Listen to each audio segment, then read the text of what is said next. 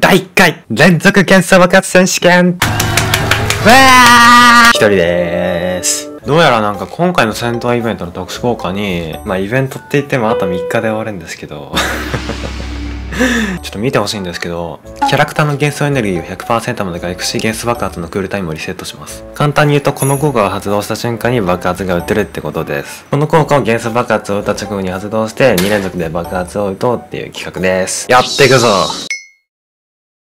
一人目はベネット。元の攻撃力が1400だから、バフ二重にできたら3000はいくんじゃないかな。最強のサポーターがもっと最強になってしまう。さあ、早速やっていくぞ。まずは1回置いて、はい、2回目。さあ、どうだ？あれ？思ってたのと違う。二重になってない。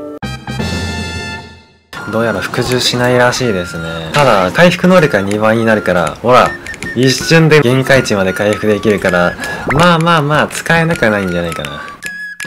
回復だけだったらベネットじゃなくてもいい。続いて、行くわき。いや、行くわきの爆発もね、相当優秀だから期待できる。さあ、1回目の爆発打って、さあ、クールタイムリセット。2回目打って、あ、あ、どうしよう。あ、あ、どうしよう。全然重なってない。何も変わってねえ。2連続で一番やっちゃいけないことやってんだけど。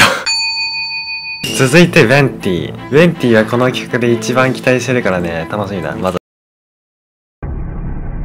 まずは1回目打って、はい、チャージして、2回目。え、これ打ててんの？あ、打ててる打ててる。うわ、わ、すごい。数字の数が、数字の暴力だ。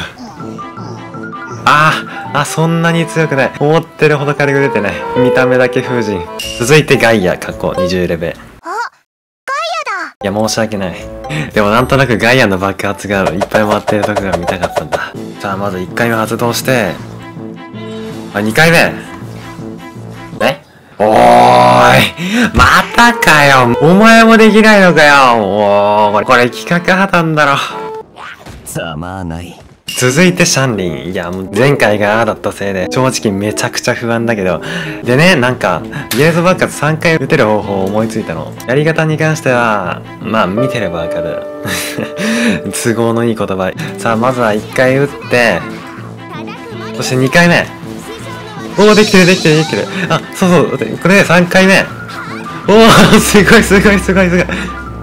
向こう向こう向こう。弱え。今回の動画のキャラ全員弱いんだけど。